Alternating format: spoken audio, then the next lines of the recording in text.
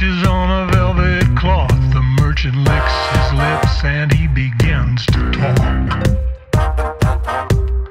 This third class replication is unconditionally guaranteed to deceive.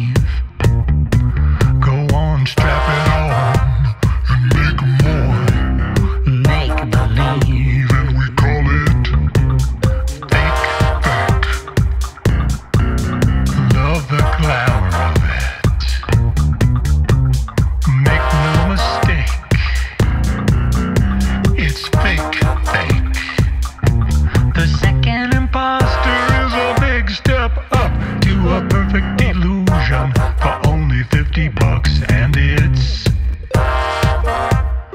fake. A relish